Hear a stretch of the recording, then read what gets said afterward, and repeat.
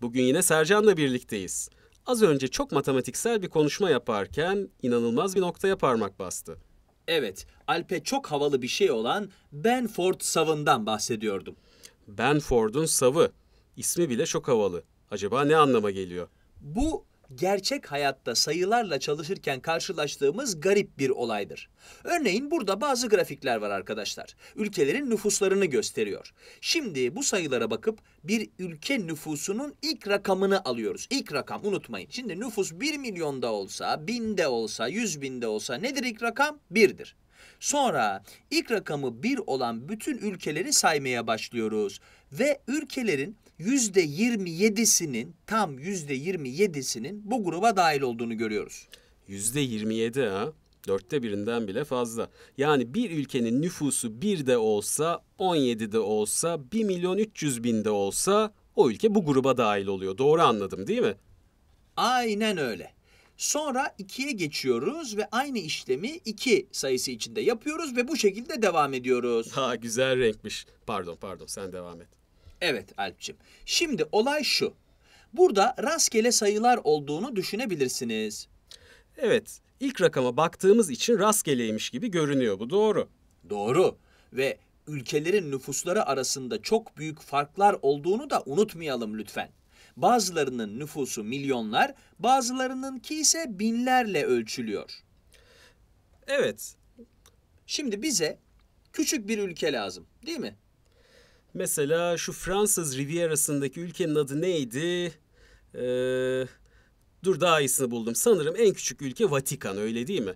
Bravo, bu doğru. Evet. E, bazıları Vatikan'ı İtalya'da bir şehir e, bile zannedebilirler çok küçük olduğu için ama bu doğru değil arkadaşlar. Vatikan başlı başına bir ülkedir. O yüzden de örnekleme alınabilir. Alınabilir, alınabilir. Aldım. Aldım gitti. Evet, devam ediyorum. Şunu soruyorum sizlere. Şimdi sizce bu neden oluyor? Yani Alp mesela sence bu neden oluyor? Yani neden ikiden fazla bir var? Yani ikiden fazla birle başlayan nüfuslu şey var anlatabiliyor muyum? Hani örneğimizdeki bir mesela niye ikiden fazla? Ne oluyor burada? Ne oluyor? Bu küçük bir olasılık değil. Hatta daha önce yaptığımız gibi adreslerdeki tek sayıların çift sayılardan fazla olduğu konusunu da tekrar tartışabiliriz. Yok tekrar tartışmayalım. Ben onu çok iyi öğrendim ve son derece de mantıklı olduğunu düşünüyorum. Bütün evlerde bir ya da onlu bir sayı olur. Değil mi? Hatta her sokakta. Şimdi sokağınızdaki evler birinci, ikinci ve üçüncü olarak numaralandırılır. Değil mi arkadaşlar? Eğer sokakta tek sayıda ev varsa, mesela atıyorum 13 tane varsa ve tek sayıda ev varsa, o sokaktaki tek sayılı adresler çift sayılı adreslerden daha fazladır. Kesinlikle doğru. Eğer çift sayıda ev varsa tek sayılı adreslerin sayısı çift sayılı adreslerin sayısına eşit olur. Evleri birle başlayarak numaralandırırız. Ama nüfuslar birle başlamaz. Hatta sokak numaraları ile ilgili bahsettiğimiz bu olay çok da uç bir durum değil. Yani tek sayılı evlerin daha çok olmasının olasılığı %50'den çok ama çok daha fazladır. Evet, beklenen şey budur. Beklenen budur ama buradaki olasılık yani bir ülkenin nüfusunun ilk rakamının 1 olmasının olasılığı 8 ya da 9 olmasının olasılığından çok çok daha fazla. Yani bu gerçekten garip bir durum. Şimdi işi biraz daha garipleştirmek için bunun sadece nüfuslarda karşımıza çıkmadığını da hemen söyleyeyim size. Aynı durumu finansta da gözlemleriz. Mesela şirketlerin gelirleri Bence ilk rakamın 1 olmasının olasılığı çok daha fazladır. Aynen, çok daha fazla. Burada daha da garip bir durumu ortaya koyan bir başka havalı grafik var. Fizikteki sabitlerin ilk rakamlarının ne olduğunu gösteriyor. Bu sabitlere örnek olarak neleri sayabiliriz Alp? Tam olarak neleri hesaba kattıklarını bilmiyorum ama aklıma yer çekimi sabiti ve Planck sabiti geliyor. Bu arada hala anlamış değilim. Yani mesela burada birimler, e, yapılan varsayımlar da çok önemli. Yine de ne yaparsanız yapın, rastgele seçtiğiniz ya da buradaki gibi rastgele seçilen fiziksel sabitlerin çoğunun ilk rakamının 1 olduğunu göreceksiniz. Ve bu durum Benford'un savı ile birebir örtüşüyor. Tüylerim diken diken oldu. Benim de öyle, benim de öyle. Bu arada buradaki gözlüklü amcamız Benford. Evet yani merak edenler eminim vardır. Size kendisini gösterelim, tanıştıralım istedik. Evet. Şimdi resimlerin ikisi de Benford'a ait olamayacağına göre Niye öyle diyorsun? Belki tıraş öncesi ve tıraş sonrası fotoğrafları olabilir öyle değil mi? Neyse bu Benford ve bahsetmekte olduğumuz Sava'da onun adı verilmiş. Gelelim diğer fotoğrafa. onu da ben söyleyeceğim. Evet, buradaki havalı amcamızın adıysa Simon Newcomb. Gerçekten de havalı bir isim. Evet ama Duke Nukem değil. Bir Duke Nukem değil. Sercan beni çocukluğuma götürdün. Evet Duke Nukem'i hatırlayan kaç kişi kaldı bilmiyorum ama Simon Newcomb, Benford'un savı hakkında konuşan ilk kişidir. Bunu hatırlayın yeter. Tabii ki de buna Benford'un savı ismini o vermemiştir. Ama olsun. Bu arada amcamızın çok ama çok havalı bir sakalı olduğunu da eklemek istiyorum. Kayıtlara geçsin. Daha heybetli bir dış görünüşü olduğunu ve bu konuda sakalın da etkisi olduğunu kabul ediyorum. Aslına bakarsan bu adam Harry Truman'a da benziyor. Hatta o olabilir mi acaba? Bilmiyorum belki de Harry'dir. Evet, e, devam edelim. Kim olduğunu tartışmakla çok vakit kaybedeceğiz. Sizce burada ne oluyor olabilir arkadaşlar? Şimdi elimizde rastgele seçilmiş bilgiler var. Bazı dalgalanmalar görüyoruz. Mesela bir ülkede. Yine de çok farklı değiller. Bu eğriye bayağı yakın değerler elde ediyoruz. Elimizdeki örneklem boyutu da bayağı küçük. Doğru.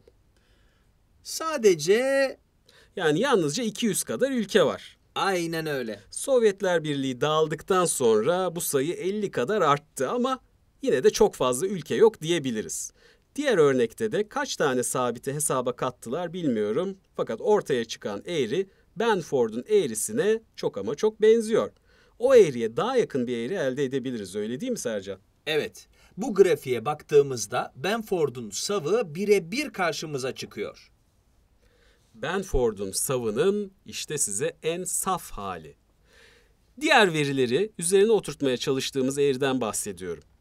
Burada inanılmaz olan şey ise ikinin kuvvetleri gibi matematiksel yapıları ele aldığımızda ya da Fibonacci serileri. Fibonacci serilerinde tüm bunları topluyorsunuz ve neden?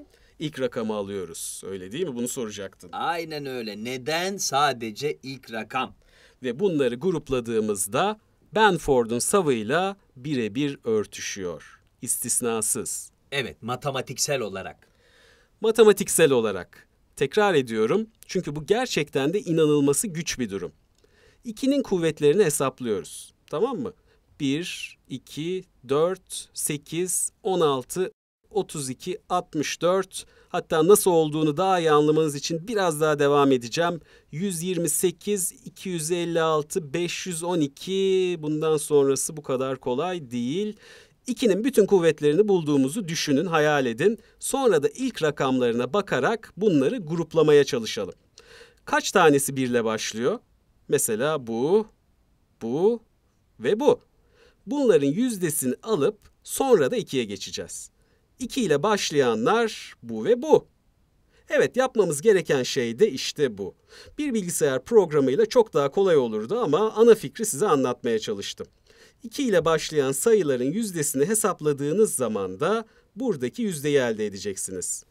9 ile başlayan sayıların yüzdesi de işte bu olacak. Ve Benford'un savının birebir elde edilmiş halini yani aynısını bulacaksınız. Harika değil mi? Gerçekten de harika anlattın. Tebrik ediyorum. Vallahi nefesim zor yetti. Biraz zorlandım ama umarım dinleyiciler bunu anlamıştır. Bu durumun sadece ikinin kuvvetleri için geçerli olmadığının da bir kere daha altını çizmek istiyorum. Herhangi bir sayının kuvvetleri için de aynı şey söz konusu. Hemen hemen bütün sayılar. Evet. Bazı özel durumlar dışında. Mesela birin kuvvetleri Doğru birle olmuyor. ya da onun kuvvetleri. Onun kuvvetleriyle de olmaz. Bunu da kabul ediyorum. Ama bunun dışındaki kuvvetlerini aldıkça değişik rakamlarla karşılaştığımız tüm sayılar... Dur dur. Ya da silahlı kuvvetler. Ay çok kötü bir espri yaptım. Ya da sıfırın kuvvetleri. Bu biraz daha iyi oldu ama bu bir espri değil gerçek çünkü haklısın sıfırın kuvvetleri de olmuyor. Kuvvetini aldıkça değişik rakamlarla karşılaştığımız tüm sayılar diyebiliriz bence. Aynen öyle. Değişik rakamlar elde etmeliyiz arkadaşlar. İşin anahtarı burada. Değişik rakamlar. Bu sayılarla Benford'un savını elde etmiş oluruz. Şimdi bu konuda sizi biraz daha zorlamak ve bunun neden böyle olduğunu size düşündürmek istiyoruz. Cevaplarınızı ve düşüncelerinizi aşağıdaki mesaj kutusuna ya da YouTube'a yorum şeklinde de yazabilirsiniz. Hadi bakalım arkadaşlar düşünmeye başlayın. Bu neden oluyor?